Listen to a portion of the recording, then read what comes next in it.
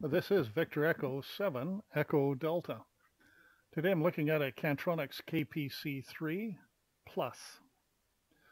You'll notice on the top of the cover they have VE7ED with an SSID of dash 8. In our area that's 14497. Also this has been set up for a Yaesu FTM 400 Delta. Below that is the XMIT level of 228. That gets us the levels for 2.75 kilohertz of deviation. On the TNC itself, with the lid off, you'll be able to see the battery for backup. That's the CR2032 3 volt lithium. You'll see an empty slot right here. That's for the clock chip and the KPC 3 plus 9.1. I upgraded this to 9.1 from 8.3. The firmware, the clock chip are both available from Kantronics. If by any chance you need to reset it, like when you put the clock chip in, over here is a Berg block 2 pin. When it's on one pin, it's normal. When you put it on two pins, it does a reset. Off to the right top corner here, you'll notice a bunch of other jumpers. One of those is so we can put 12 volts in through this connection here, which is the DB9 to the radio or from the radio. So we don't have to use a plug-in barrel connection. Caution on the barrel connections, if you're not using the Kantronics one, it will have an exposed end and you could short it to ground taking out the fuse or taking out one of the traces on the board. The DB25 is to going to the computer. The one I have here is a desktop, the standard COM port using a DB9 on one end, the 25 on the TNC end. We move over to the radio port, which is this connection here. It's a DB9, which has transmit audio, push to talk, receive audio, ground, and also 12 volts. When I use my Cant uh, Kantronics with the Motorola, the nice part is, is the Motorola connection has 12 volts on it, which powers in through the port here.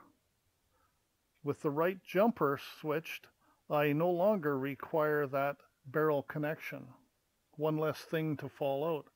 The Motorola has a push on the connections on the 16 pin and a bolt on with the DB9. I also use this TNC for the the uh, Yaesu FTM 400 that uses the CT167, which is the 10 pin to the DB9. And again, all I had to do is transmit audio, receive audio, push to talk, and ground.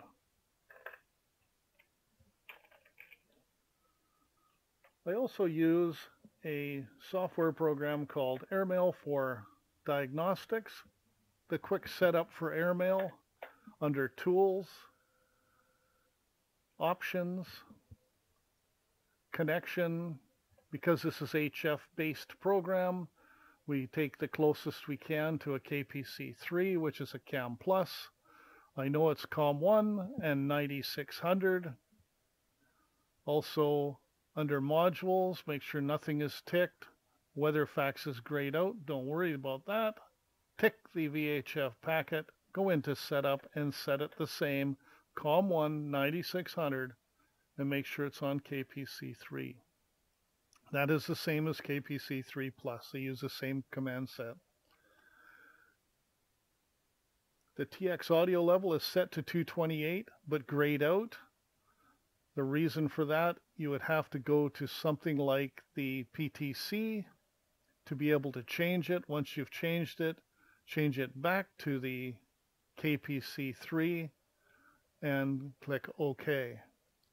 Click OK And up here we have the last icon on the right. That particular one will allow us to initialize the TNC. Click on that one. It will come up. There'll be a second go by, and then it says packet initialized OK. So we know we've initialized it OK. If not, close that window and do it again. If it came up instantaneous, that's when you have to redo that. So we'll close that and we'll go look and see if we can talk to the TNC. We go to Tools and Dumb Terminal. But first I'm going to turn the TNC off so you'll see an error. And the error is the two boxes are red. CTS, clear to send, DSR, data send ready, are red. It says our COM port is open, so it's ready to go. So now I'll turn on the TNC. As soon as I turn it on, we get the clear to send, the data send ready are turned green, and we have an initialization okay, and it shows us the log on. It says CMD, that's our command prompt. Every time you hit an enter, you get a command prompt return. And if we want to know all the commands, we type display. And then hit enter. And there are all a, a lot of commands. There's about 20 you might need to change depending on your setup. So that's the end of this. The nice part with Airmail, you can use it for testing out a WinLink script. You can go through manually and go through a node to another node to a post office or a dash 10. And I'll have some explaining of that in another video. Enjoy 7.3 from Victor Echoes